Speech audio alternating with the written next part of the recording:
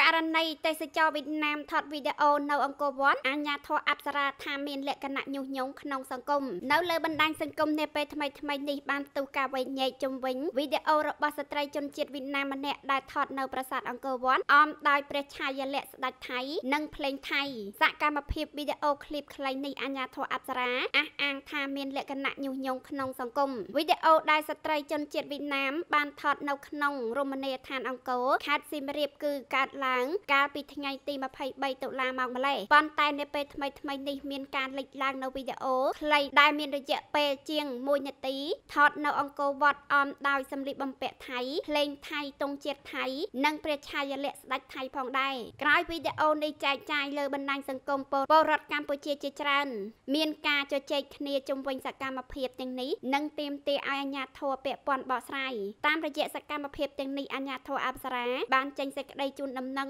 និងបកស្រាយផងដែរបើតាមអាជ្ញាធរអប្សរាកាលពីថ្ងៃទី23តុលាក្រុមភ្នាក់ងារទេសចររបស់អាជ្ញាធរជាតិអប្សរា បានហាមឃាត់ទេសចរបរទេសមួយចំនួនដែលមានបំណងថតសម្លៀកបំពាក់ច្នៃប្រឌិតជាមួយសម្ភារៈមួយចំនួនក្រោយហាមឃាត់សម្ភារៈមួយចំនួនភ្នាក់ងារទេសចរក៏បានស្នើសុំឲ្យលុបចោលរូបភាពមួយចំនួនផងដែរទោះបីភ្នាក់ងារទេសចរស្នើសុំលុបចោលក្តីក៏នៅតែមានវីដេអូនិងរូបភាពដែលសមាជិករបស់ទេសចរបានថតនិងយកមកកាត់បញ្ចូលសម្លេងដើម្បីផ្សព្វផ្សាយក្នុងបំណងមិនល្អជុំវិញបញ្ហានេះអាជ្ញាធរអប្សរាក៏បានទទួលកំហុសចំពោះការខ្វះខាតមួយចំនួនដែលកើតឡើងដោយយថាហេតុនិងបដិញ្ញាពង្រឹងកិច្ចការងារក្នុងការថែរក្សានៅរូបភាពដ៏បវរនៃរមណីយដ្ឋានអង្គរបន្ថែមទៀតអាជ្ញាធរជាតិអប្សរាបានបញ្ជាក់យ៉ាងដូចនេះដោយសកម្មភាពវីដេអូឃ្លីបមានលក្ខណៈញុះញង់ក្នុងសង្គមអាជ្ញាធរជាតិអប្សរាបានស្នើសុំក្រុមហ៊ុនបណ្ដាញសង្គម TikTok